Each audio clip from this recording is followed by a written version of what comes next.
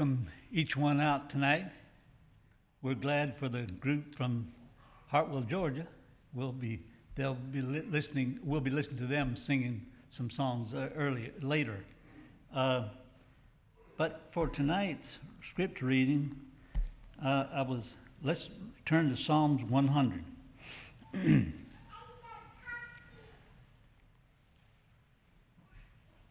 Psalm 100 says, Make a joyful noise unto the Lord, all ye lands.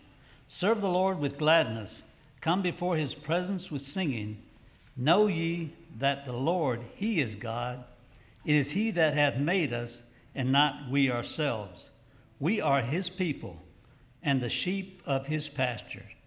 Enter into his gates with thanksgiving, and to his courts with praise. Be thankful unto him, and bless his name. For the Lord is good, his mercy is everlasting, and his truth endureth to all generations. We can rest assured that uh, God, regardless of what we go through, God is good, and he has the best in mind for each one of us. And uh, he will not allow us to be tempted above what we are able, but with the temptation also make a way of escape. Let's pause for a word of prayer. Lord, we come before you just now. We thank you for this evening, and we pray your blessing, your presence be here. Father, that as they sing to us and as they uh, talk, Father, that your name would be lifted up and be glorified. Father, may all things be done as unto you and not to man. And Father, may you receive the honor and glory. We pray that your spirit would uh, be among each one of us and that the presence of your Holy Ghost would be here with us. And thank you for living among us and thank you for giving your life as a ransom for each one of us. You loved us so much that you were willing to give your life, shed your precious blood so that we could be set free. Thank you for all you've done and keep us, we pray, through Christ. Amen. Uh, the Church of God in Christ Mennonite is going to present us with a program in song and singing. So we'll turn it over to y'all.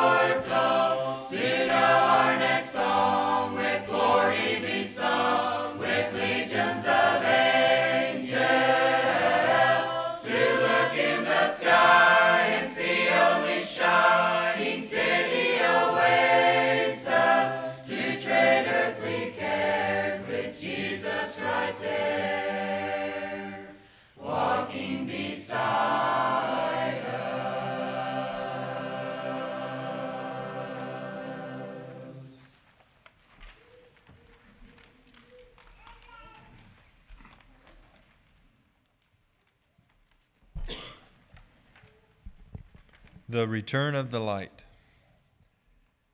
The sun had risen and the sun had set. Some were pleased with the work of the day, and some were displeased. There were those who had blueprint, blueprinted the next drama, or the next book, or the next skyscraper. Many had fulfilled the lust of the heart. Some were angry, and some were elated. There were those who had, in a measure, satisfied their greed. Even greater bribery was being planned for the next day. There were those who had taken the wedding vows and those who had broken them. Many had entertained the crowd with hilarity, and here and there was the one who endeavored to bring the few who had gathered to sobriety. The criminal who the criminal was planning his next crime. Countless thousands were amused by the comedy or the violence or the lewd scene on the TV screen. Many had fallen asleep watching the show, unaware of the swishing of the sickle. It seemed that hearts everywhere had entertained evil for so long that thoughts of vice and greed, violence and pride were the only thoughts they could think.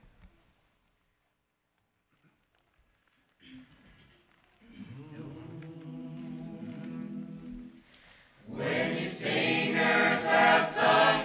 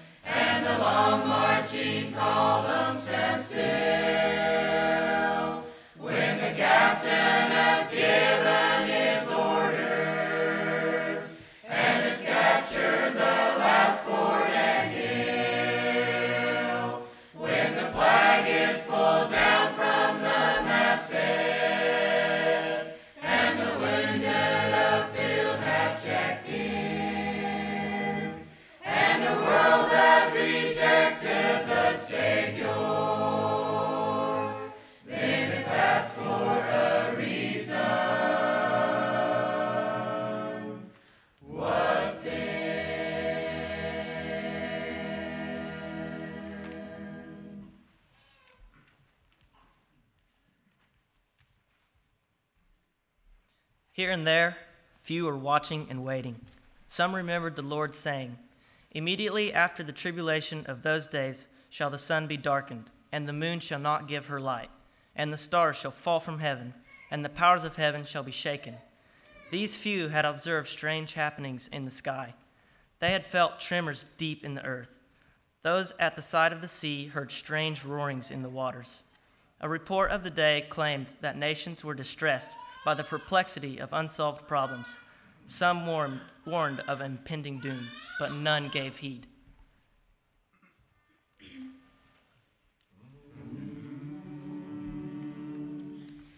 Aimlessly traveling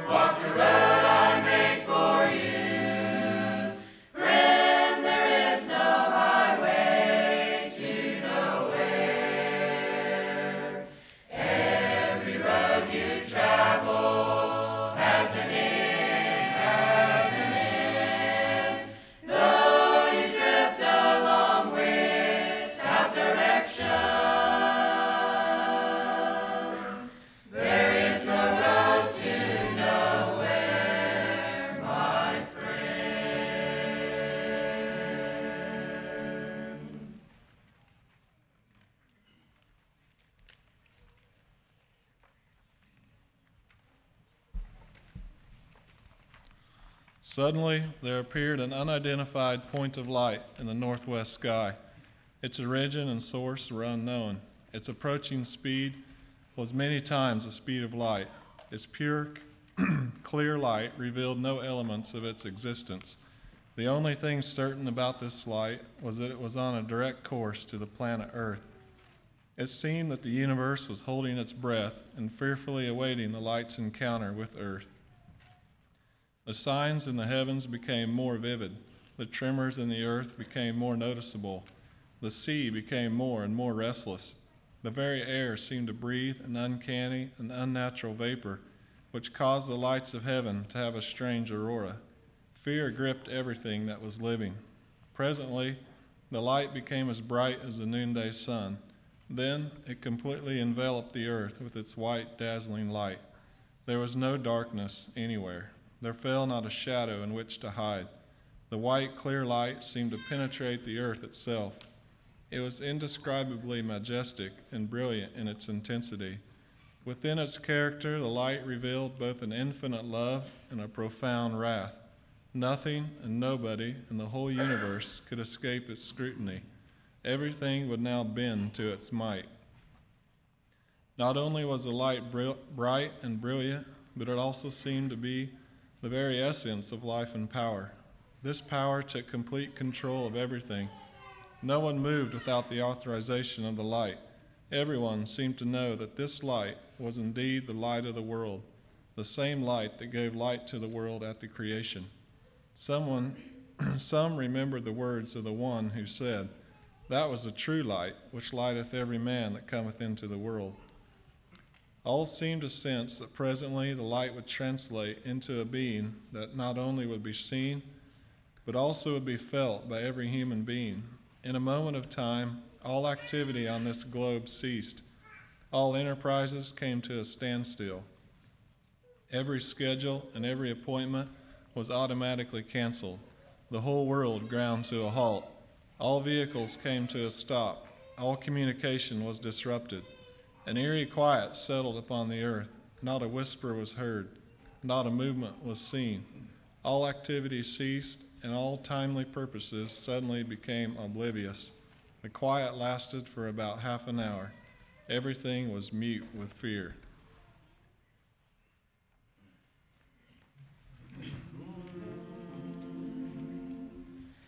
the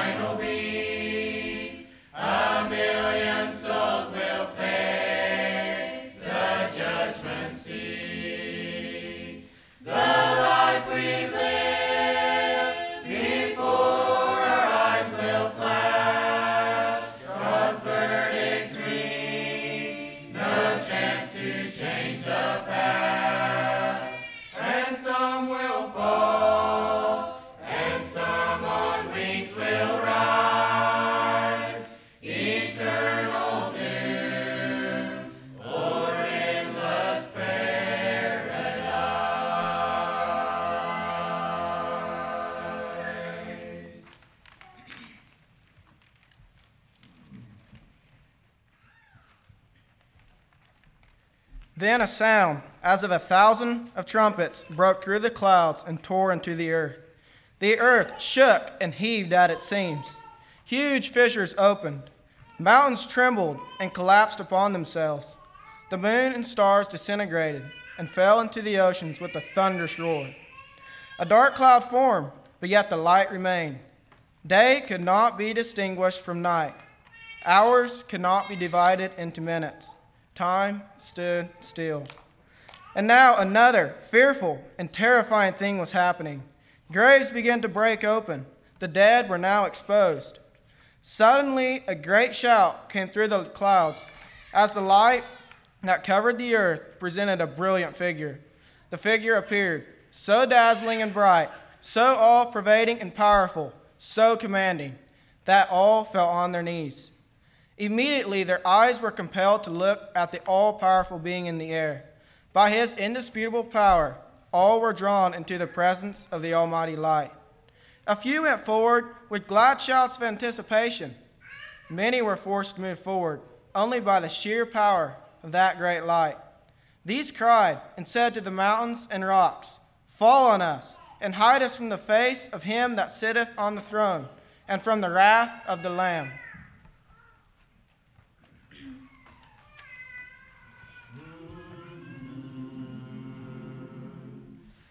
Amen.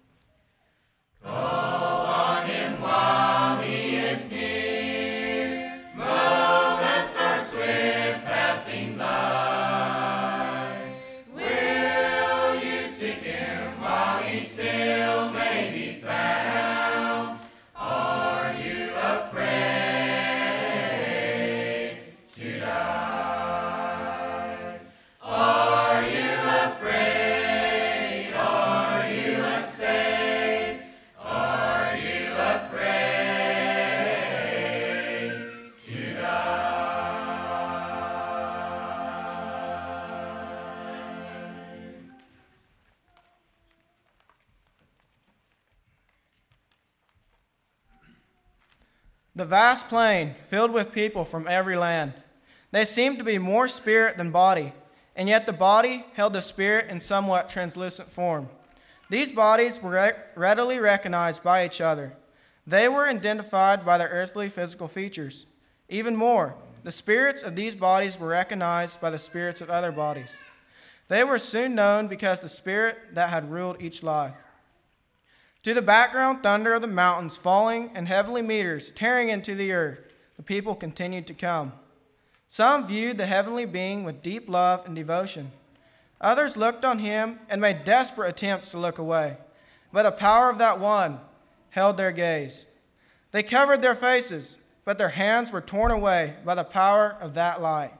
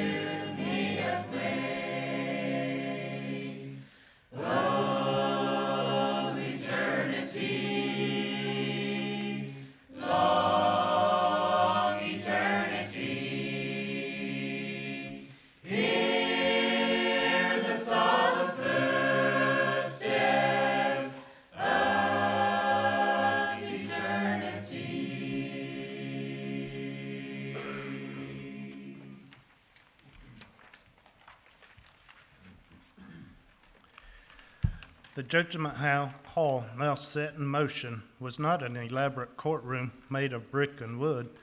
Whether it was a hall contained in the infinity of a spirit world. It was here in the infinite eye of the great light could perceive the most distant movement, and his ears could hear the most distant sound. In this hall, nothing was left to guess or chance. All spirits were now totally exposed. No longer could flesh, blood, or pretense camouflage a spirit or even a thought. Every spirit in the great hall became the essence of the soul and body of its earthly life. The spirit that motivated its earth life was now the core of its spirit life. Often spirits recognized another spirit as a friend or neighbor or family member. All timely enterprise and incidents were forgotten. Only the incidents bearing on eternity were vivid in the memory. There was now no distinction between the great and the small, the rich and the poor. King and prince stood on the same plane as the serf. Free men and the slave could not be distinguished one from another. There were now no handicapped or crippled. The young and old were in the same station. All bodies that had become spirits shed all infirmities. All social differences had vanished.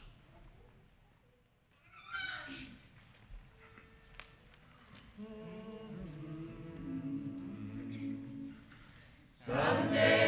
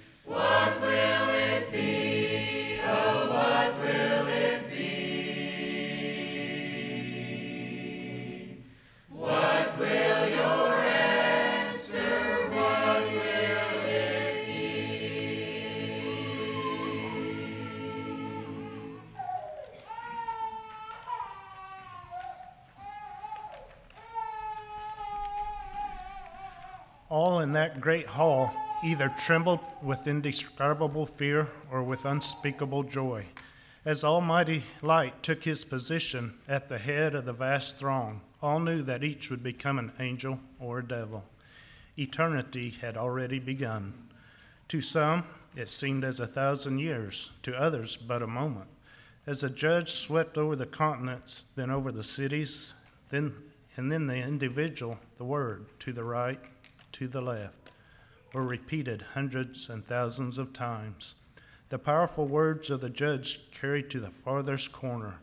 Each time the voice was heard, it brought the next soul a step closer to the light and its own judgment. In terms of timely measurement, this court could have lasted a hundred years, or a thousand, or a million. In terms of eternity, there was no awareness of the passage of time. Before the judge, there were volumes of books. The judge opened the books to read names. As a name was read, that person was swept into the presence of the great light.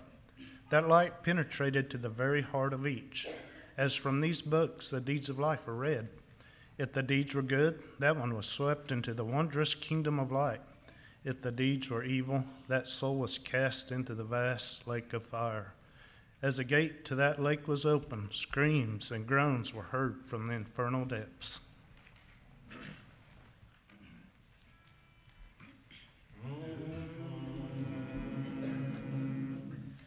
All is still,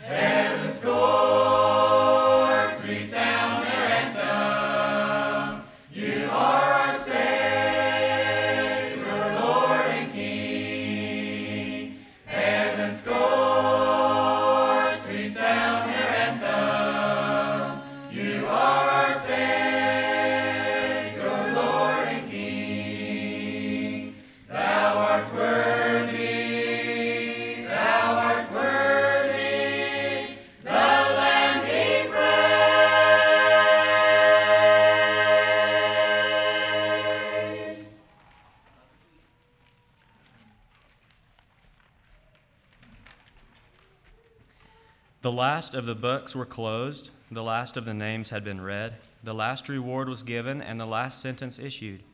The doors of time had been closed, never to be opened. The events of time were eternally sealed. No alterations, no changes, and no opportunities. The judge took the faithful into his everlasting kingdom. The gate to that kingdom was closed. Many came to the gate to plead for entrance. A voice from within said, Depart from me, I know you not.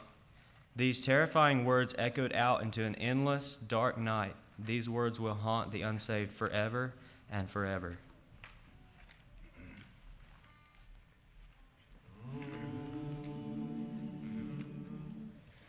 Last night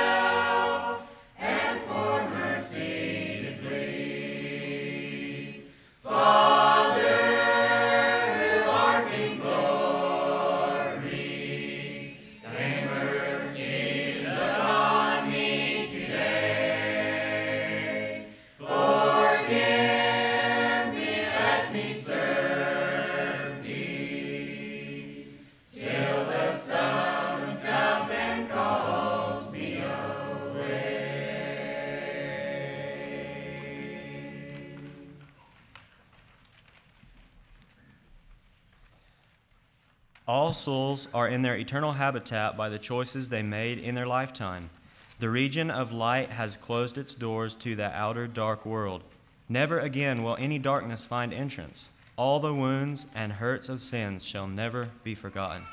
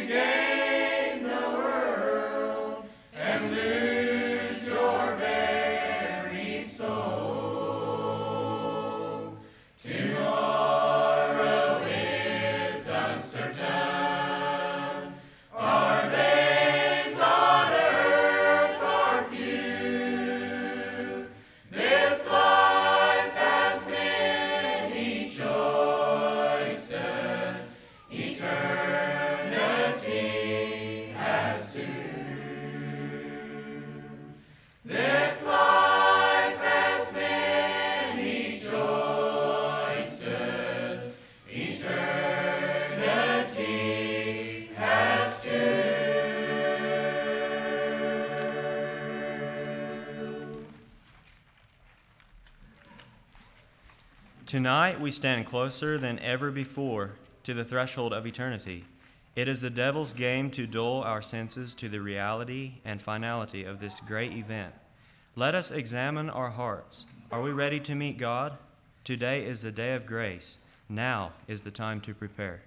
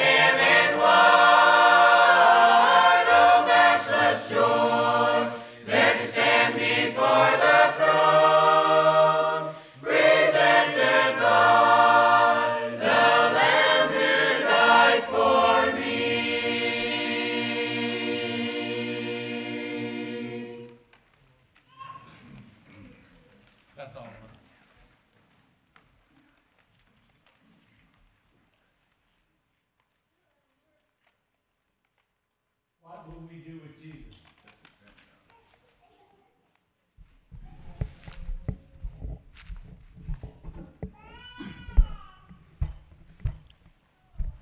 What will we do with Jesus? We were given, presented the two ways. It's up to each one of us what we're going to do with this, what we heard. Thank you, group, for coming and sharing. It's been, it was as good as it was four weeks ago. We were over there four weeks ago at their church, and they give this program, and I felt that it was something we needed here. So, thank y'all so much for coming.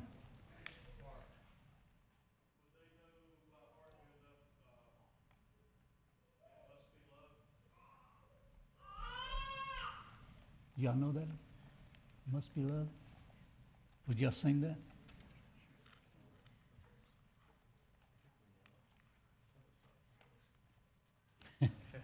I think we know it. What's, how does it begin? Do you know how it begins?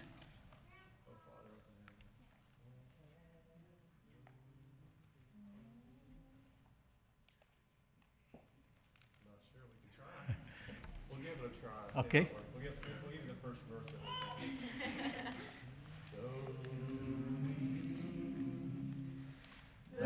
it.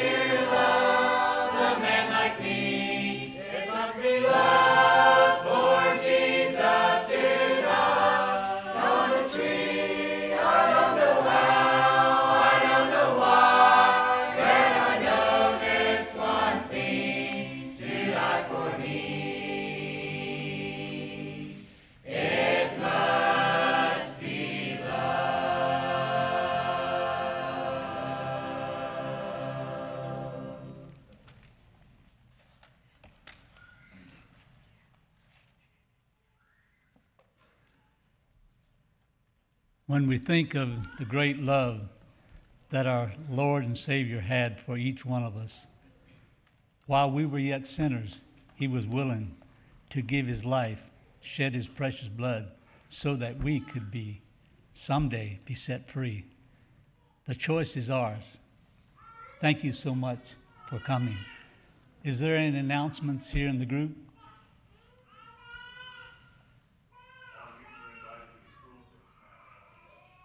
Okay, the youth are invited, and y'all will be coming up there too, so.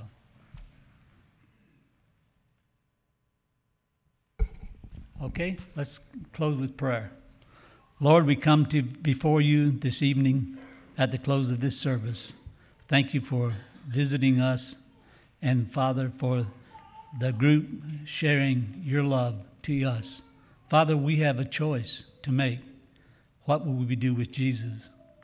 Father, you are interceding for each one of us. You're pleading our cause, and one day you will be our judge. You're our high priest right now, interceding for us.